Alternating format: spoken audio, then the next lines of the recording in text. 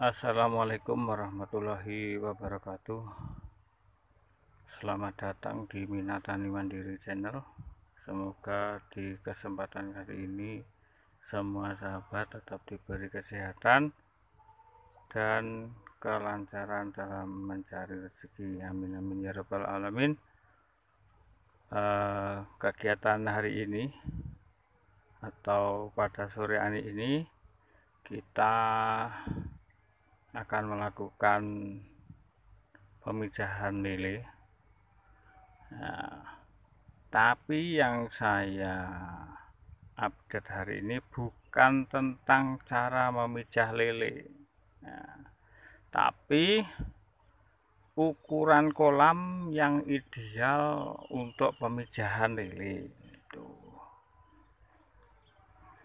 ini sekaligus membalas atau menjawab permintaan sahabat Mina ada yang bertanya eh, yang ideal untuk pemijahan lele ukuran berapa? Gitu. Dan pada dasarnya kolam pemijahan itu tidak harus ukuran sekian kali sekian. Tapi yang ideal itu ya menurut induknya. Kalau induknya besar seharusnya kolamnya juga luas lebar. Tuh. Tapi kalau saya yang saya lakukan ini kolam ukuran 3 kali 5 biasa saya isi induk satu pasang bobot 1 sampai satu setengah kilo. Itu bisa pertumbuhan normal sampai umur satu bulan. Tiga minggu sampai empat minggu masih mampu tumbuh dengan normal. Tapi kalau semakin kecil induk kolam semakin kecil tidak apa-apa. Tuh dan ini induk yang mau kita masukkan. Hmm. hari ini kita menyilangkan betina sangkuriang dan jantannya mutiara. Ini kebetulan ada yang agak merah. Ini jantan Pak kali ini tidak saya tampilkan memilih induknya. Kriteria induk sudah saya pilih ya seperti yang saya videokan eh, pada video-video yang lalu. Coba tengok link di atas ini. Nah ini cara melihat induk lele yang sudah gunat itu. Ini induk bobot 1 kilo pejantannya 1,2 tuh itu bisa memijah dengan seimbang masih bisa dipijahkan bersamaan. Kalau ukuran induk ya minimal andaikan pejantan 1,2 itu paling besar induknya yang betina 2 kilo. Kalau lebih 2 kilo pejantannya kurang kurang besar tapi kalau betinanya terlalu kecil ya kasihan. Ntar di maam nyam nyam gitu. Ya tidak mungkin lah masa calon istri dimakan. Tapi tidak akan memijah dengan sempurna. Biasanya eh, tingkat eh, nafsu memijahnya biasanya agak berbeda. Gitu masalahnya. Diharuskan atau disarankan nafsu memijah biar serentak itu ukuran induk seimbang antara jantan dan betina. Itu sahabat Mina bagi yang pemula harus harus paham tentang ini. Kalau yang sudah pekerjaan hari-hari seperti saya ya ya hal biasa lah seperti ini. Seperti ini kolamnya tidak istimewa kolam saya tidak ada yang istimewa cuma galian tanah yang tak kasih terpal itu soalnya ini lahan sewa jadi kalau dibuat permanen ya kayaknya tidak mungkin gitu. Dan keistimewaan kolam terpal itu ketika 2-3 tahun sudah usang itu kita ganti yang baru eh, sistem berkembang bakterinya sudah terputus.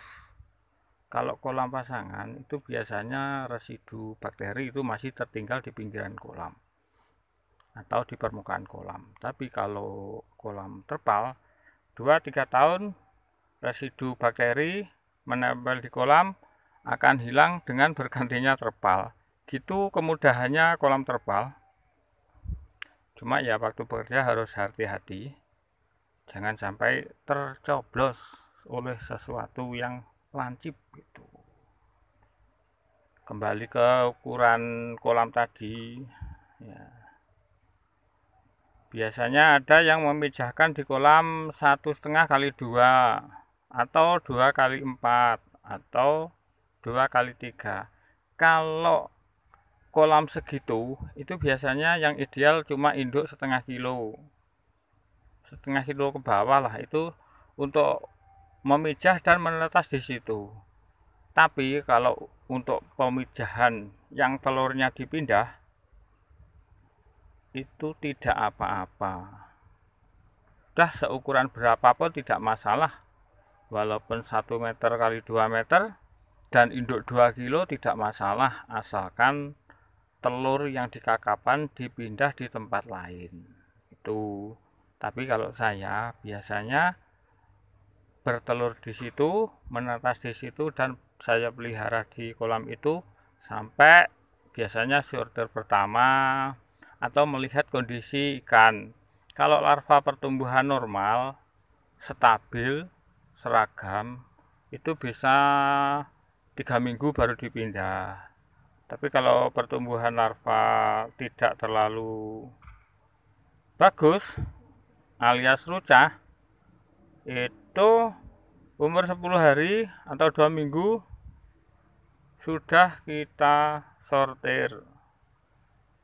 Seperti biasa yang di video itu tentang sortir bibit umur 10 hari umur dua minggu itu banyak yang di saya di saya videokan di video-video saya banyak ter, video tentang itu merawat liar larva lele.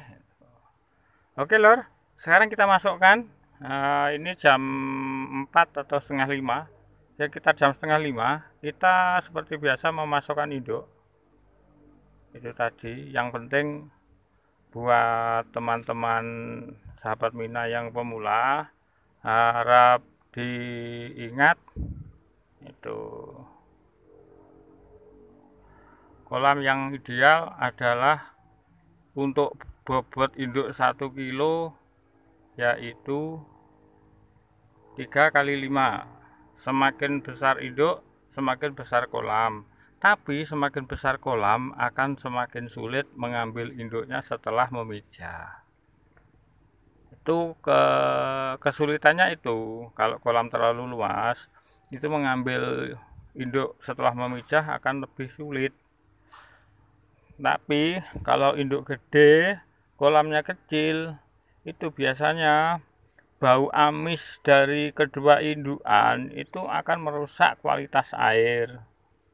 Itu juga merugikan. Makanya uh, untuk pemula harap di, diperhatikan menyesuaikan lingkungan masing-masing belajar dengan lingkungan masing-masing bagaimana suhu iklim di daerah tersebut nah, karena di satu daerah dengan daerah lain itu tidak akan sama persis eh, penanganan atau kualitas air atau suhu suhu cuaca, suhu lingkungan itu akan berbeda-beda tentunya akan menimbulkan efek yang berbeda juga dengan eh, air itu sendiri. Yang jelas untuk memancing plankton seperti di video saya itu perlu dilakukan bila air terlalu jernih. Itu karena ketika tumbuh plankton ikan akan cepat besar tapi kalau tumbuh lumut itu tidak akan sehat pertumbuhan ikan akan lambat tuh nah. sekarang kita masukkan indukannya